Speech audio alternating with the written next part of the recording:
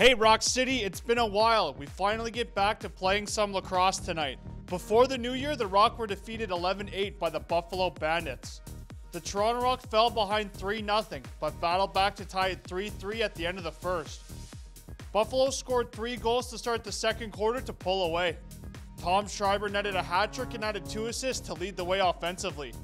Toronto is in New York for the first of two meetings on the season. In their latest matchup, they fell to the Halifax Thunderbirds 2011. Jeff Teat scored twice and added five helpers for seven points in the loss.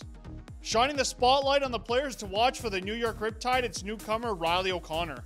O'Connor was acquired by New York in a trade with the Albany Firewolves, sending Kieran McArdle to the pack. O'Connor has felt right at home with the Riptide, scoring five goals and adding six assists for 11 points. If the Rock are going to keep the Riptide winless, they'll have to keep Riley off the score sheet. Looking at the other side of the floor for your Toronto Rockets, Dan Craig. After a breakout season last year, Craig has continued to produce on the left side.